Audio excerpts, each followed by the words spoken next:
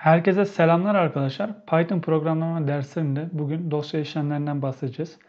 Python'da e, dosya işlemleriyle birlikte belli bir dosyaya veri yazdırma ve, ve veri okuma işlemlerini gerçekleştirebiliriz arkadaşlar. Bu sayede geliştireceğimiz yazılıma dış ortama veri yazdırma gibi bir fonksiyon katmayı sağlayabiliriz. Şimdi Python'da dosyaya veri işlemi yapabilmek için Öncelikle bu dosyayı open fonksiyonu ile açmamız gerekiyor. Dosya diyerek bir değişken tanımlayacağız arkadaşlar öncelikle.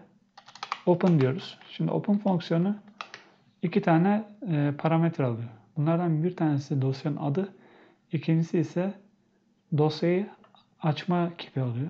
Dosyanın adını diyelim ki kullanıcı nokta text. Text formatında bir dosya olsun. Sonrasında arkadaşlar bunu hangi modda açacağımız. Bugün biz dosyaya veri yazacağımız için arkadaşlar write modunda dosya yazacağız. Böylelikle dosyaya veri ekleyebileceğiz. Tırnak içerisinde W yazıyoruz. Yazdırma modunda dosyayı açtık. Bir tane örnek yapalım. Diyelim ki mesela dosya nokta write tırnak içerisinde Python hello world diyelim. Ve dosyaya veri yazdırdıktan sonra arkadaşlar dosyayı kapatmamız gerekiyor. Dosya nokta close diyerek dosyayı kapatıyoruz arkadaşlar. Ve bunu bir çalıştıralım. Evet. Program çalışmasını tamamladı arkadaşlar. Kullanıcı nokta text dediğimiz için otomatik olarak programın kurulu olduğu dizine kaydetme işlemini gerçekleştirdi arkadaşlar. Eğer siz spesifik bir adrese kayıt yaptırmak isterseniz bunu burada düzenlemeniz gerekiyor. Adres dizinini belirtmeniz lazım.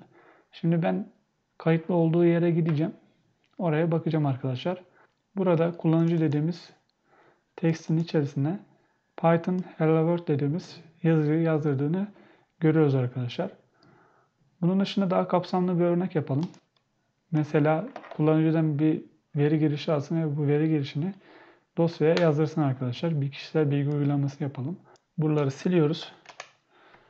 İlk olarak diyeceğiz ki isim input fonksiyonu kullanacağız. İsminiz nedir diyelim. Sonra kişinin soyadını öğrenelim arkadaşlar. Buna da soyadınız nedir diye yazalım. Meslek eşittir diyoruz. Aynı şekilde input mesleğiniz nedir diyeceğiz.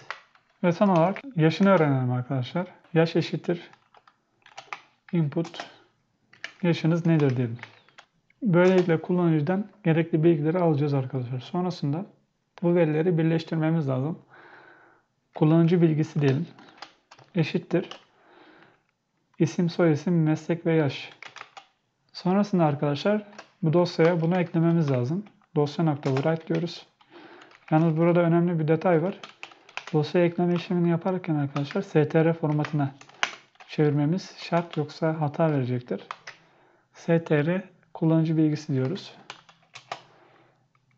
Sonrasında arkadaşlar yazdırma işlemi de tamamla, tamamlandıktan sonra dosya.close diyerek her zamanki gibi kapatma işlemini gerçekleştireceğiz.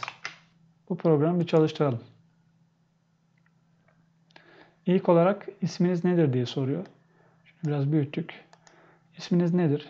Herhangi bir isim girelim. Cem olsun adı. Soyadınız nedir diye soruyor.